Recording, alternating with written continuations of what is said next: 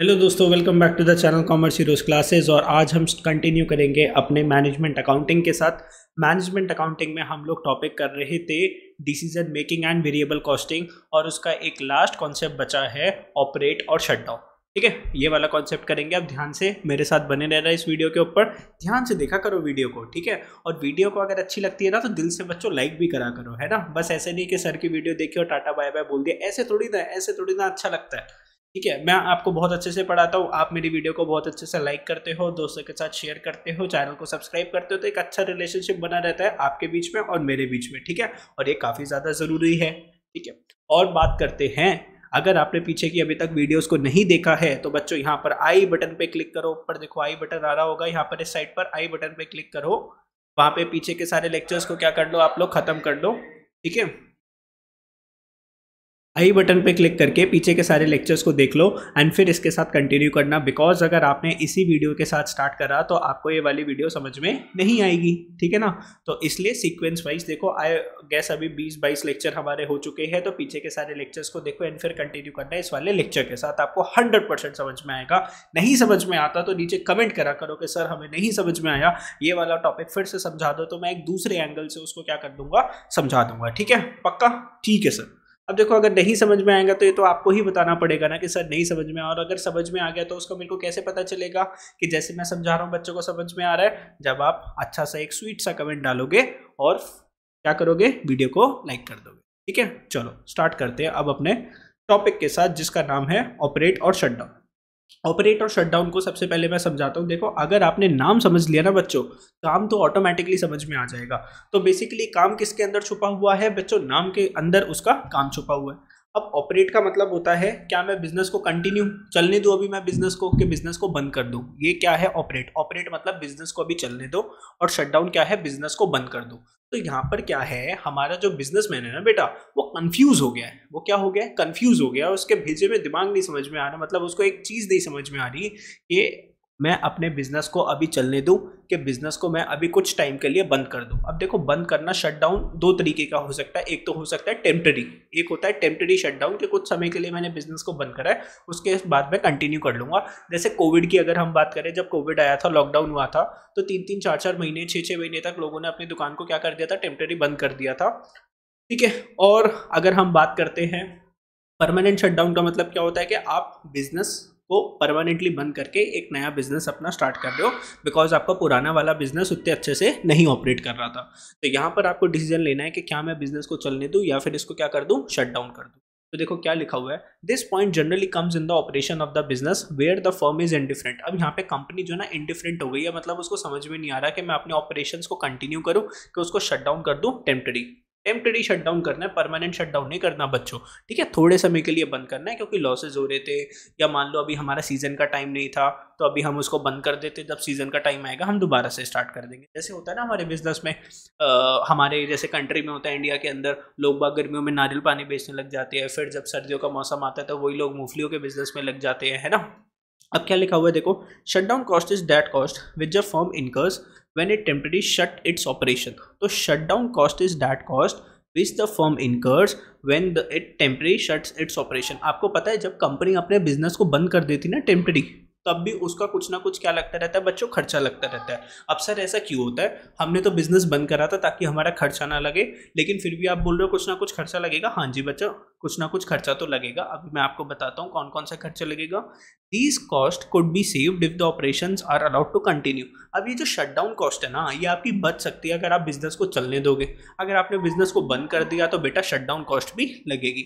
In addition to cost shutdown cost includes the cost of देखो shutdown cost में कौन कौन सी कॉस्ट लगती है?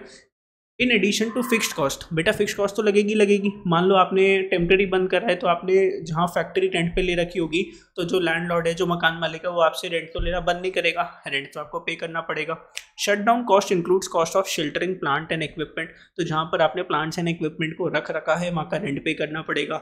ले ऑफ़ एक्सपेंसिस लोगों को अगर आप निकाल रहे हो, जैसे मान लो आपके पास वन थाउज़ेंड एम्प्लॉयज़ थे। उसमें से आपने मान लो 500 सौ को निकाल दिया कि भाई अभी थोड़े टाइम के लिए हम बंद कर रहे हैं, इतने लोगों का हम सैलरी नहीं उठा पाएँगे। तो बेटा उनको अगर आप एकदम नोटिस देकर अगर निकालते हो ना तो आपको उनको कुछ खर्चा देना पड़ता है। एक महीने की फिर भी सैलरी पे करनी पड़ती है ताकि उनको नेक्स्ट जॉब मिलने तक कम से कम उनका घर का खर्चा चलते रहे। Employment and training of workers when the plant is restarted मान लो अगर आपने चार पाँच महीने बिज़नेस नहीं करा या छः महीने तक उसको क्लोज करके रखा तो बाकी के जो पाँच सौ एम्प्लॉयज़ है, जिनसे आप काम नहीं करवा रहे थे, हो सकता है जब उनको दोबारा से आपको क्या करवानी पड़ जाए? ट्रेनिंग करवानी पड़ जाए। जब बिज़नेस स्टार्ट हुआ, हो सकता है वो सब कुछ भूल जाए। अबव और all the loss of market और बाकी मार्केट में क्या हो सकता है? लॉस हो सकता है। भाई कस्टमर आपके लॉयल कस्टमर्स थे, वो आपको भूल गए। आप थे नहीं, आपका प्रोडक्ट था नहीं, उन्होंने दूसरी कंपनी का प्रोडक्ट इस्तेमाल करना स्टार्ट कर दिया। ठीक है? It occurs because of strikes अब बेटा कभी कभार क्या हो जाता है? कंपनी में स्ट्राइक हो गई। तो पता चला कि कंपनी के तो भाई फैक्ट्री एक एक महीने तक क्या है? बंद पड़ी हुई है। बात करते हैं ट्रेड डिप्रेशन आ गया। ट्रेड डिप्रेशन क्या होता है? मान लो ठंडा पड़ गया बिज़नेस बिज़नेस के अंदर कोई डिमांड नहीं आ रही तो इसको हम क्या बोलते हैं? Trade depression permanent shutdown is taken only in worst situation बेटा, जो परमानेंट शटडाउन होता है ना, यहाँ पे हम बात कर रहे हैं टेम्प्रेरी शटडाउन की। परमानेंट शटडाउन की बात नक्को कर रहे परमानेंट शटडाउन वर्स्ट सिचुएशन में होता है। जब बहुत ही गंदी सिचुएशन आ गई, बच्चों, एक रुपए की सेल नहीं हो रही और खर्चा इतना है, ठीक है? घर की भी सारी एसेट्स खत्म हो गई तो आपको बिज़नेस को क्या करना पड़ेगा? बंद करना पड़ेगा। When business is not in situation to earn sufficient return जितना हम सोच रहे थे बिज़नेस उतना नहीं कमा पा रहा to cover the risk involve उसके अंदर जो रिस्क है, उसके हिसाब से वो कमा ही नहीं पा रहा। In case of shutting down the business other companies में get a chance to establish their product अब देखो ना, अगर आपने शट डाउन कर दिया तो उसके डिसएडवांटेजेस क्या है? बच्चों, उसके डिसएडवांटेजेस क्या है? बेटा, दूसरी कंपनीज़ को क्या हो जाएगा? वो अपना प्रोडक्ट स्टैब्लिश कर लेंगे। In case of shutting down the business other companies में गेट अ चांस बाकी के आपके जो कॉम्पिटिटर्स हैं, उनको चांस मिल जाएगा कि वो अपने प्रोडक्ट को मार्केट में क्या कर लेंगे स्टैब्लिश कर लेंगे। भाई, आप लोग तो चले गए। अब कस्टमर थोड़ी ना प्रोडक्ट को इस्तेमाल करना बंद कर देगा। वो आपके पास नहीं तो साथ वाली दुकान के पास जाएगा। ठीक है? इतने में साथ वाले जो दुकान वाले भैया है, वो अपनी दुकान क्या कर लेंगे बच्चों? जमा लेंगे, है ना? चलो, आगे। ओके, सर जी, आ गया हमें समझ में। नेक्स्ट पॉइंट की अगर हम बात करते हैं, वीडियो अच्छी लग रही है तो क्या करना है? लाइक कर दी है। लाइक कर दो फटाफट से, लाइक कर दो, आपको लाइक करना आता है, चैनल को सब्सक्राइब भी करना है, ठीक है? और बाकी अगर पीछे के भी सारे लेक्चर्स को देखना है तो डिस्क्रिप्शन बॉक्स में लिंक है। वहाँ से आप क्या कर सकते हो, पीछे के सारे लेक्चर्स को देख सकते हो, okay? Once the skilled workers are discharge आपने एक बार स्किल्ड वर्कर को काम से निकाल दिया। It might be difficult to get experienced and skilled workers when the business resume अब मान लो आपने किसी एक अच्छा काम करने वाला बंदा था एक्सपीरियंस बंदा था, उसको आपने काम से निकाल दिया, भाई आपका बिज़नेस अच्छा नहीं चल रहा था। अब भाई आपने छः महीने के बाद बिज़नेस स्टार्ट करा, हो सकता है वो बंदा आपके पास दोबारा से ना आए, वो दूसरी कंपनी में काम करने लग गया। अब एक एक्सपीरियंस बंदा ढूँढने के लिए भी क्या लगती है? बेटा बहुत सारी मार्केटिंग लगती है है ना? अलग अलग कॉलेजेस में जाके कैंपस प्लेसमेंट होती है रिक्रूटमेंट प्राइवेट एजेंसीज के पास जाना पड़ता है, बढ़िया बंदे मिलते कहाँ है? Risk of obsolescence of plant and machinery हो सकता है आपकी जो प्लांट एंड मशीनरी थी, एक साल से आपकी मशीनरी फैक्ट्री बंद पड़ी हुई है, हो सकता है प्लांट एंड मशीनरी ऑप्सोलेसेंस का मतलब क्या है? पुरानी हो गई टेक्नोलॉजी पुरानी हो गई।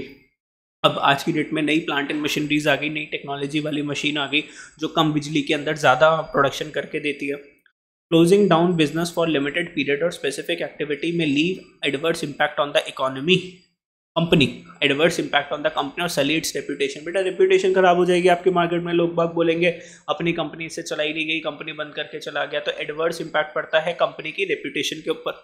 Arrangement of finance for compensation payable और रिट्रेंचमेंट ऑफ़ अनस्किल्ड वर्कर्स अब देखो जो अनस्किल्ड वर्कर्स है, मान लो छोटा बंदा था, आपके पास टेन थाउज़ेंड रुपीज़ की उसकी जॉब थी, छोटे लेवल पे काम करता था, तुमने एकदम से उसको बोल दिया कि, भाई, कल से मत आइयो, तेरे काम की ज़रूरत नहीं है. अब उसका रोटी पानी कैसे चलेगी घर की? हो सकता है उसको जॉब ढूँढने में टाइम लग जाए।